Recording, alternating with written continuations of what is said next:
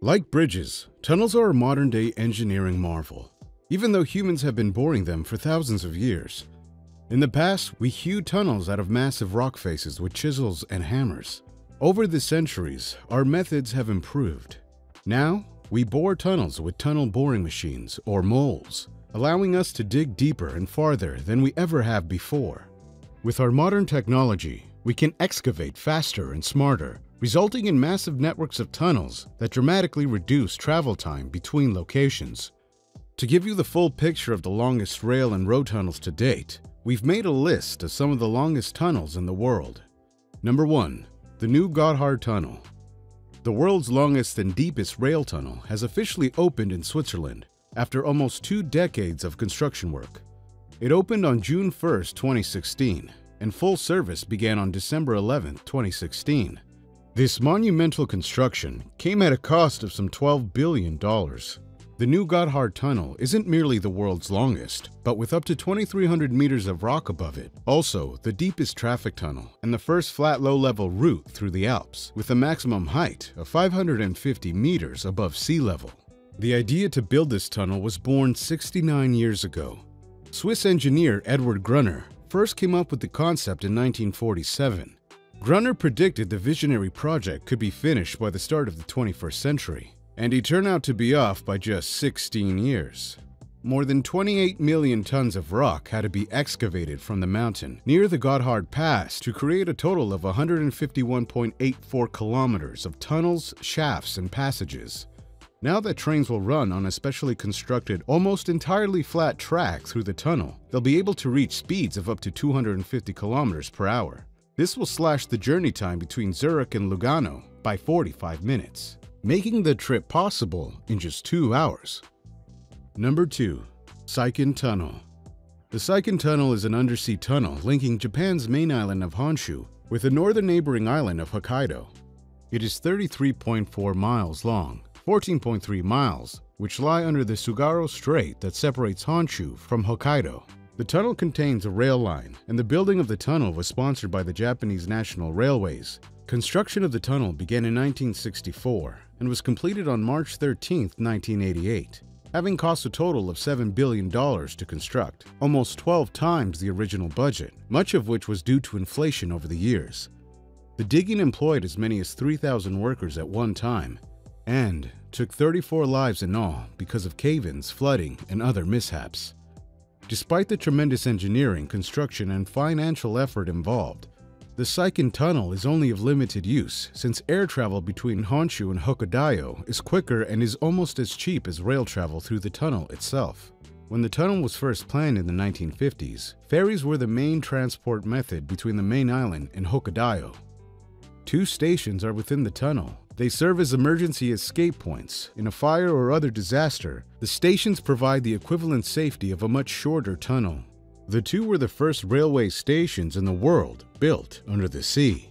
Number 3. Channel Tunnel Channel Tunnel, also called Eurotunnel, a rail tunnel between England and France, runs beneath the English Channel. The Channel Tunnel, 31 miles long, consists of three tunnels, two for rail traffic and a central tunnel for services and security.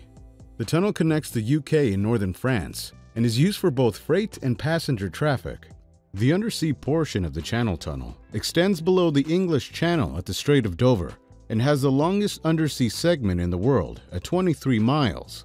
Plans to build a cross-channel fixed link appeared as early as 1802. Still, British political and media pressure over the compromising of national security had disrupted attempts to build a tunnel. The eventual successful project, organized by Eurotunnel, began construction in 1988 and opened in 1994. The cost finally amounted to 9 billion euros, equivalent to 19 billion euros today, 80% more than expected. An average of 60,000 passengers passes through the tunnel each day, along with 4,600 trucks, 140 buses, and 7,300 cars. A reported 26% of trade in goods between the UK and continental Europe goes through the Channel Tunnel each year, which represents a total value of 160 billion euros annually. Number 4. The New Guanjiao Tunnel. The new Guanjiao Tunnel is a dual-bore, dual-rail tunnel extending across the Qinghai-Tibet Railway in Guanjiao Mountain. The previously used northern bypass of the Guanjiao Mountain overcame a 300-meter high incline with numerous switchbacks and loops. The journey time was four hours, and the line was single track, so that train traffic from the opposite direction was obstructed. On the steep stretch, three diesel locomotives had to be used in front of each train. The longest railway in China sat at 10,800 feet above sea level and took seven years to complete before it opened in 2014. The total length of the tunnel is 32,645 kilometers, which makes it the longest railway tunnel in China and the world's longest railway tunnel at a high altitude. The second line of Xining Golmud Railway of Tibet covers a full length of 818 kilometers and is the only railway connecting Qinghai Province and Tibet Autonomous Region. Number 5. The Guadarrama Tunnel The Guadarrama Tunnel is a railway tunnel across the Sierra de Guadarrama, forming a key portion of the Madrid-Leon high-speed rail line in Spain. It is the largest tunnel in Spain, as well as being the fifth largest in the world. The tunnel comprises two individual parallel tubes with regular interconnecting galleries throughout their lengths. The western tube is 28,407 meters long, and the eastern tube is 28,418 meters long. The project consisted of constructing a railway line for trains with a speed of 350 kilometers per hour. The approach selected for the excavation phase was via four double shield tunnel boring machines, the design of which was specially adapted to suit the local geology.